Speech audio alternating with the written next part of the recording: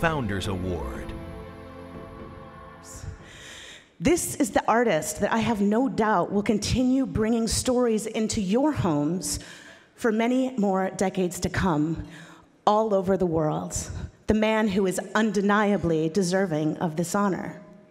And now it is with great pride that I present the 2018 International Emmy Founders Award to my friend, Greg Berlanti.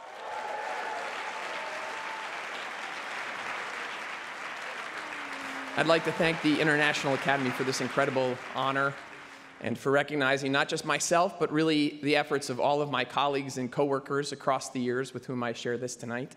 Um, all the nominees tonight, all the winners, Sophie for that incredible speech. We were all crying at our table. Um, I'd like to thank Julie Plec uh, for her beautiful introduction, really for her friendship.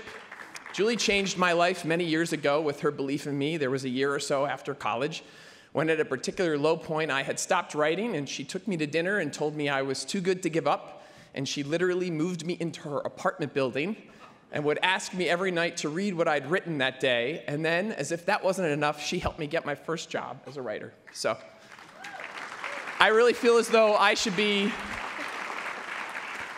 I, I do feel as though I should be handing this award to her and look forward to the not so distant future when I am. Uh, I'm sure there are more worthy individuals of this kind of recognition, but I'm not sure there could ever be someone more grateful. And not just for this, but for all of it, really. The whole life that working in TV has given to me. Growing up as a kid, 40 minutes from here in the 80s, I had a few things working against me socially. I was the smallest kid in my class and asthmatic, and I loved comic books and Dungeons and Dragons. I was the dungeon master for my local Dungeons and Dragons group. I didn't just run the audiovisual club at my school, I actually ate lunch alone with the AV teacher every day. And all of this as I was just figuring out that I was gay.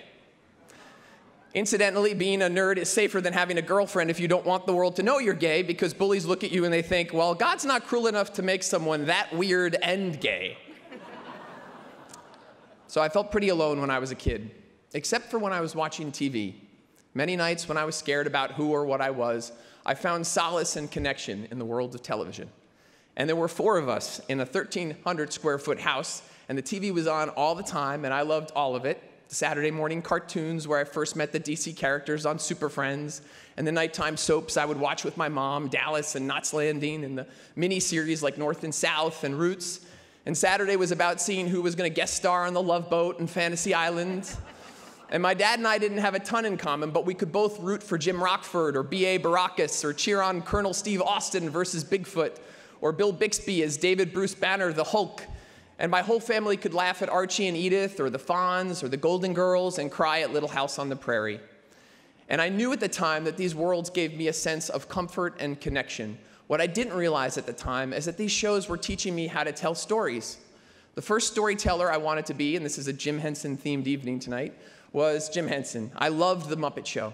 So I started building puppets in our basement, and I would put on shows at the local library.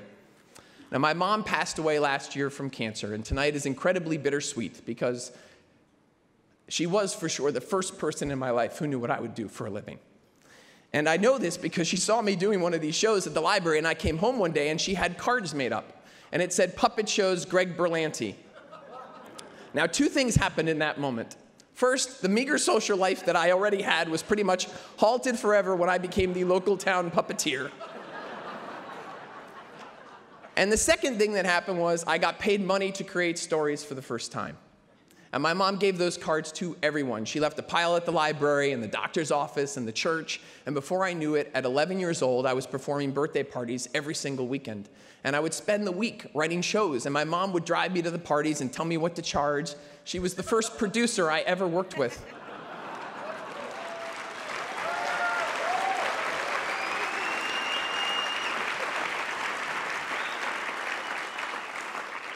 and still the best one, in my opinion. My father happily is here tonight. And if my mom was my first producer, he was sort of my first network executive. Now, my dad was the hardest working man I knew. He left for work by 5 a.m. in the morning and got home at 8 at night. And he would edit my book reports. And many times he'd read them after I'd gone to bed, and in the morning he'd leave them on the sink in the bathroom we all shared. And sometimes they'd have extreme notes, and sometimes they'd just say, could be better. Not as good as your last one.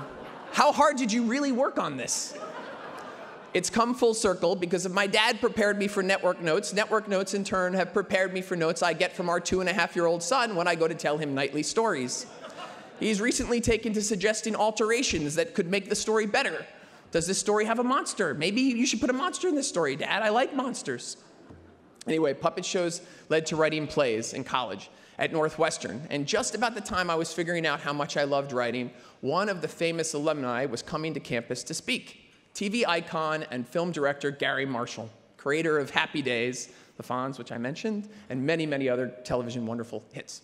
I got to the event early, but when it came time to ask questions, I was too shy to speak to him. But I got another shot when I saw him later in the day at the student union. And this time I mustered enough courage to talk to him. I blurted out, Mr. Marshall, I, I think I want to be a writer for a living, but how do I know if I have the talent to make it? And he leaned forward in his famous accent, which I will not attempt to imitate here, and said, You got to have some talent, and you got to work hard, but mostly, and he paused, and I was certain he was going to give me the answer to the Hollywood universe. And he said, Shit. You have to be lucky enough to step in shit. Now, I did okay with the first two. I worked hard and I have some talent, but I really scored in the third department. I have been so lucky in my life lucky enough to have the family I had and friends from childhood, some of whom are with me here tonight. Lucky to have met people like Julie Plec and Carl Ogawa and Sarah Schechter, who are all the best friends and coworkers a, a person could ever ask for.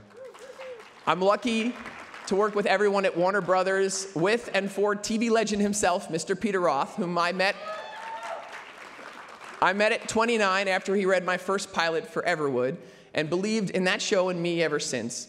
He also took over where my parents left off in terms of both thinking I could do anything like my mom and simultaneously, like my father, always wanting everything I do to just be a little bit better.